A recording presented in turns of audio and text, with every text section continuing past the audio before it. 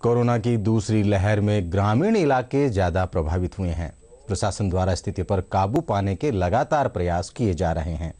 वहीं कई गाँव ऐसे भी हैं जहाँ ग्रामीण लोगों में जागरूकता लाने का काम कर रहे हैं। सीकर ज़िले के गाँव झिंगर छोटी में कोरोना के बढ़ते मामलों के चलते सरपंच सरोज देवी ने पहल करते हुए गाँव में लोगों की आवाजाही पर रोक लगा दी। सबने मिलकर सैनिटाइज किया। मास्क बांटे और राशन और किराना की दुकानें और दवाई की दुकानें। राज्य सरकार की पालना के गाइडलाइन के बाद ये निर्णय किया कि 11 बजे तक गाँव की दुकानें खुली होंगी। कोई दुकानें नहीं खुलती है और पूर्ण लॉकडाउन लगा होता है।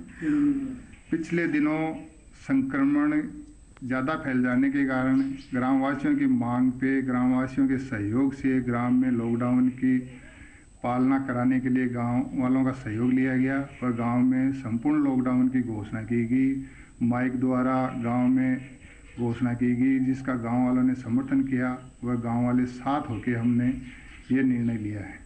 जब से गाँव में कोरोना का पेशेंट बढ़े ना, उसके बाद जैसे हमारे सरपंच साहब ने गाँव को लॉकडाउन किया है, उसके बाद मैं मेडिकल संचालक हूँ। उसमें केस में भी कमी आई है, लोग जागरूक है, सोशल डिस्टेंस की पालना कर रहे हैं, ज़रूरत का सामान लेने के लिए ही घर से बाहर निकल रहे हैं। करके 10 किलोमीटर दूर जिगर छोटी गाँव के अंदर भी सरपंच के द्वारा इसके साथ साथ में ग्रामीणों के साथ में उन्होंने एक मुहिम छेड़ रखी है, पूरे गाँव को संपूर्ण लॉकडाउन के रूप में उन्होंने पूरे गाँव को बंद कर रखा है। यहाँ चार से पाँच हज़ार की आबादी वाले इस गाँव के अंदर यहाँ सरपंच इसके साथ साथ में गाँव के जो लोग हैं, युवा जो लोग हैं, उन्होंने संपूर्ण लॉकडाउन का समर्थन किया है। सुनील पारमार डी न्यूज़ जिगर छोटी।